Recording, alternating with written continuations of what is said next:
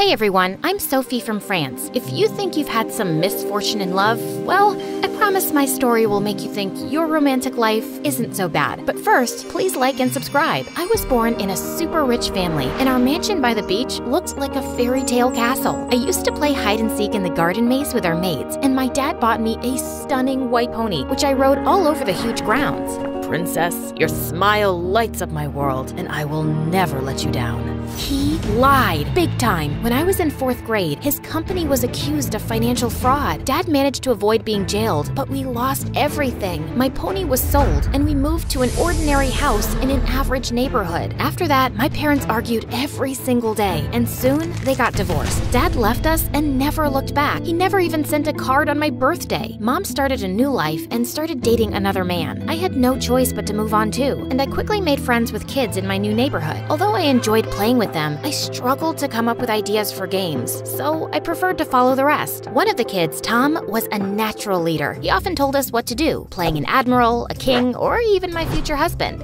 Sophie, when we grow up, you will marry me. Um, okay. We all played outside till it was dark, and Tom often walked me back home, which was sweet. But over time, his behavior started to get strange. Like once when he had to go visit his grandma for a week, he told me not to play with anyone else while he was gone. We were also in the same class at school, and I loved making friends and joking around with everyone, but it seemed to bother Tom a lot. Sophie, stop being so friendly with everyone. It's annoying. Nobody seems annoyed except you, Tom. In middle school, a cute boy sent me a card on Valentine's Day saying, You brighten my day, and it made me so happy. But the next day, when I tried giving him a chocolate, he ran away terrified, like he'd seen a ghost. Of course, Tom was behind this. I was getting sick of him and even tried creating distance between us, but he didn't take the hint. If I didn't walk with him to school, he just followed me. He'd turn up at my house whenever he pleased, and if I didn't talk to him, he'd just sit in my room for hours watching me. I told mom not to let him in anymore, but she always said he was the sweetest friend I had. Once in high school, I decided to sneak out to a party late at night, but I was more worried about keeping it a secret from Tom than my own mother. Thankfully, I didn't encounter him on the way, and I was ready to have fun. But every single boy I asked to dance with me turned me down. Okay, can someone please explain what's going on? I'm pretty and cool, and yeah, pretty. Why don't you boys want to dance with me? Because your boyfriend isn't gonna like it.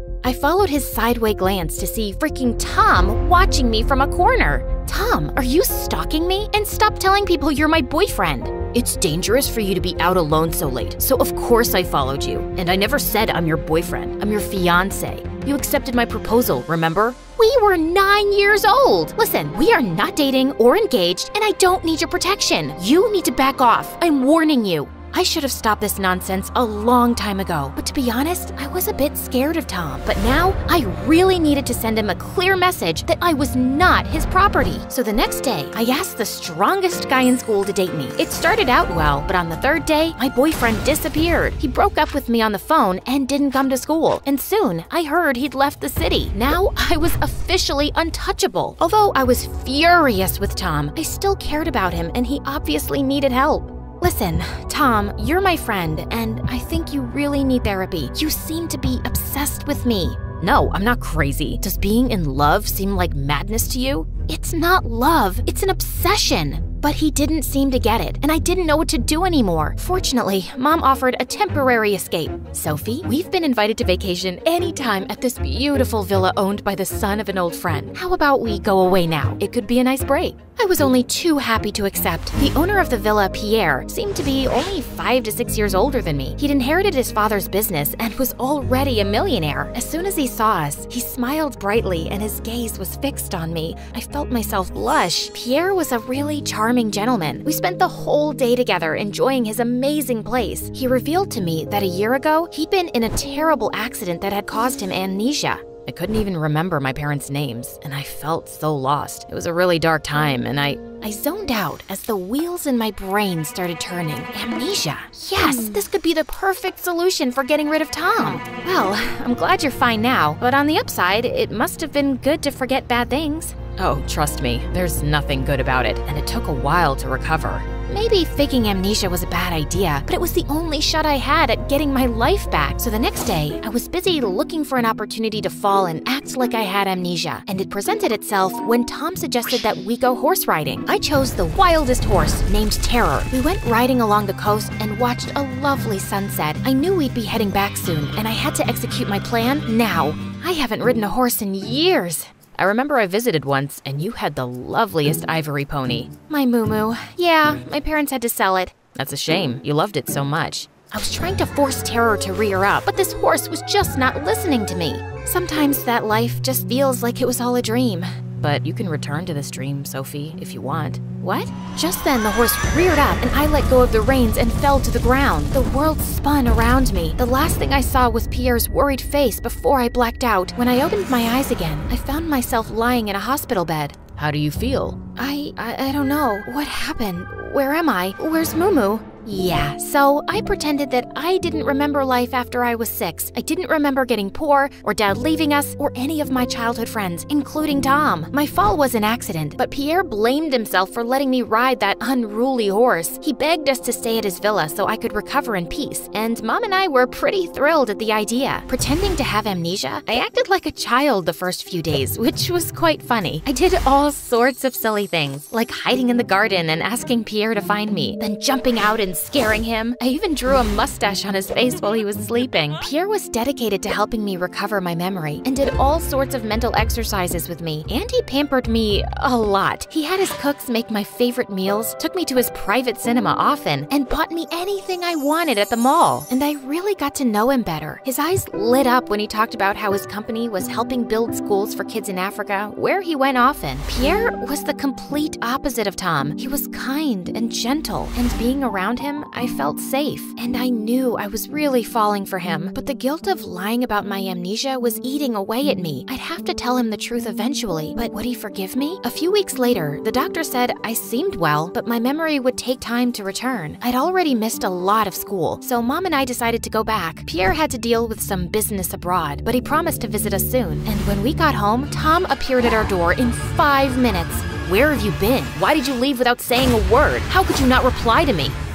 Are you sure you're at the right house? Who are you? Huh? What is this dumb game, Sophie? Mom told him everything about my amnesia, and Tom was shocked. Then he got angry and refused to believe Mom, but she firmly told him not to stress me out and leave our house. The next day at school, everyone found out about my amnesia and asked me stupid questions, like if I still remembered how to read or write. Tom followed me around watching me, but he didn't say a word. But that afternoon, as I headed out of school, he confronted me.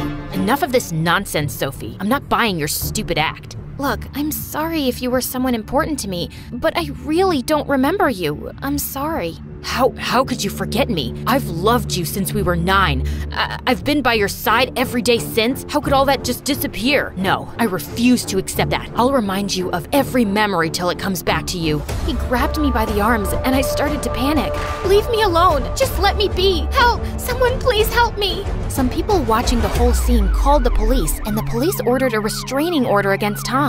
My plan had worked. I felt both relieved and guilty. I knew I'd gone too far, but it was the only way. After that, Tom kept his distance, but I could still feel his eyes on me from the shadows. My only hope was to graduate and leave this place and Tom behind soon. For good. A few weeks passed, and I was already missing Pierre a lot. I texted him several times, but he didn't answer. Maybe he was just really busy. Or maybe I'd misread some signs and he didn't feel the same way about me. I was looking for something to occupy myself and decided to sign up as a volunteer with some friends at the Nice Carnival, a major music event raising funds for charity. As soon as we were done setting up the sound system on the stage, the announcer stepped up to the mic.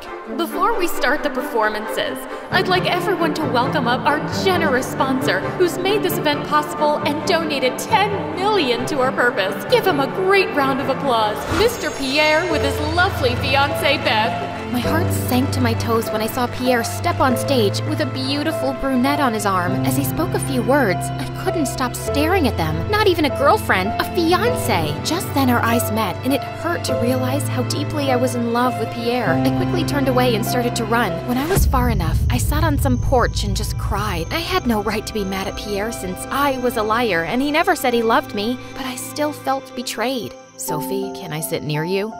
Yes, Tom. That guy on stage, I saw how you looked at him. You're in love with him, aren't you?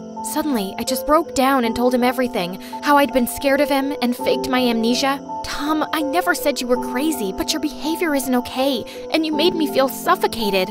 I know I've been a little intense, but it's only because I care about you so much, Sophie. I've loved you since the first time I met you. But caring about someone doesn't mean not respecting their boundaries, and you can't force someone to love you back. You can't hold on to an obsession for years and expect it to turn into a healthy relationship. I know you're right, but I don't know what to do, Soph. I can't help how I feel. That's why I think therapy could help you, Tom. You really deserve to be happy, but it can't be at the expense of someone else's well being. You need to learn to let go and move on. Tom promised that he'd try therapy, and I felt like someday we could be friends again. Pierre's calls and texts were endless, but I refused to answer them. But one day, a strange sound caught my attention. It was a helicopter landing in the fields behind our house, and Pierre came out of it. What are you doing here, Pierre? Fighting for the love of my life. That's you, in case it wasn't clear. Those are strange words for a man with a fiance. Please, I just need a few minutes to explain. Pierre then told me that his dad had laid a condition on him to find a girl to marry before he could take over the family business. So Pierre had proposed to a girl he wasn't in love with just to please his father. But the pressure to settle on a date for marriage had been too much for him, and he'd escaped to his family villa for a break. That's when I met you, Sophie, and everything changed. I realized that I'd made a huge mistake. When you left, I went back and ended things with my ex fiance. We had committed to the Nice Carnival as a couple, so we decided to go through with it together. I know I should have answered answered your texts or told you earlier, but I was scared of losing you. I wanted to explain everything after it was over. Pierre, I don't know what to say. Say you'll forgive me, Sophie, and give me a chance to make it up to you. Before that, I need to tell you something too, and you may not want to talk to me after this. I told him the plain truth about Tom and my fake amnesia. The worst part is that I knew you really suffered because of amnesia, and faking it was completely out of line.